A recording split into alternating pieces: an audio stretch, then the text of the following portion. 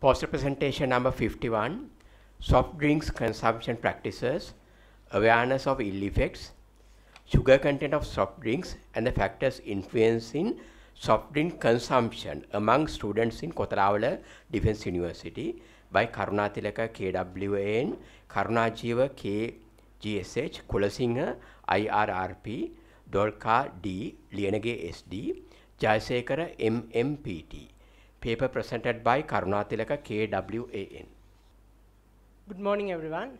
So we studied on soft drink consumption practices, awareness of ill effects and sugar content, and factors influencing soft drink consumption among university students. So do you know, consuming one can of soft drink per day will increase the risk of coronary heart disease by 20% and consuming two cans of soft drinks per day will increase the risk of diabetic mellitus by 25%. There are many research which suggest the harmful effects of soft drink consumption, but only few addresses on the knowledge of sugar content and ill effects of soft drink consumption. So we did a descriptive cross-sectional study among 166 students of eight faculties in Kotelawala Defense University. We used a self-administrated questionnaire there then we analyzed the data.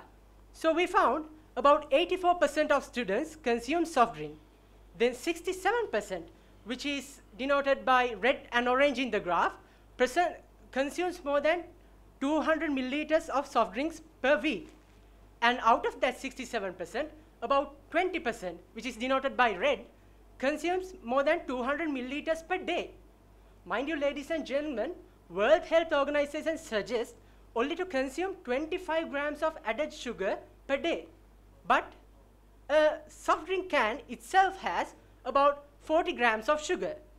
So when considering the reason for this much of consumption of soft drink, we found that 58% of the students consume soft drink because of its taste and about 18% consume soft drink because of unavailability of another suitable drink and about 12% consume soft drink because of unavailability of drinking water. And it was really interesting to find that about more than 50% of the students believes that soft drink is an essential component of the youth. And also about 43% of students believes that they are addicted to soft drink. So it shows there's something wrong in the way they think. And also we were able to find more than 50% of the students has noticed that increase in the consumption of soft drink after joining the university.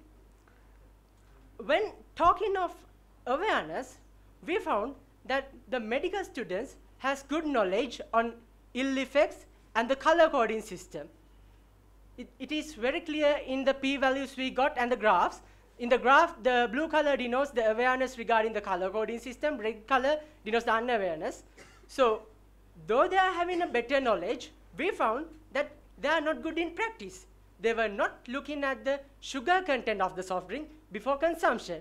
So it shows better knowledge doesn't inform us good practice always. So to mitigate these issues of soft drink consumption, what we suggest are banning soft drink among in the university premises, provide free and safe drinking water, educate students through social marketing campaigns, and impose taxes on soft drinks. Finally, reduce the soft drink sugar content. Thank you. Thank you for the presentation. The paper is now open for questions.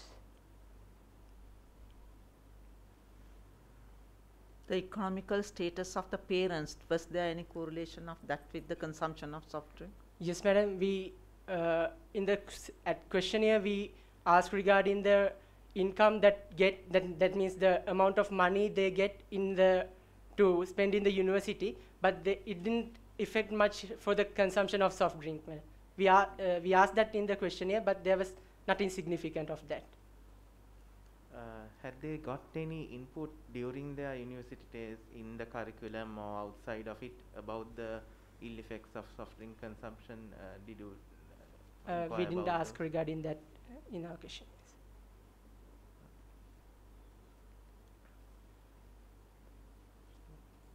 And you found that the practices were not different. Uh, there was no significant difference between the practices of the medical medical students compared to the other students. Is that what you found?